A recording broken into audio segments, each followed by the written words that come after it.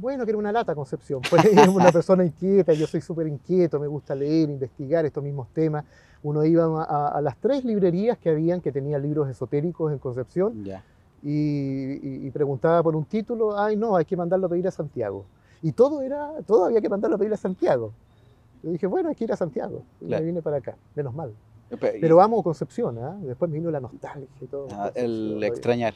Claro, pero me vine como medio aburrido de Conce- Concepción gris, este, nublado, eh, lloviendo siempre, chico, uno caminaba y era como estar dentro de una caja y te encontrabas con especies de muralla y eso era Concepción. Mm. Entonces, no, hay que, hay que- hay que hacer un Aquí encontraste la libertad tanto como de estudio y como de personal, ¿no? De todo, claro, sí, de todo, a pesar de que yo soy bien ermitaño, ¿ah? Ya. Salgo muy poco de mi casa. Ah, mira.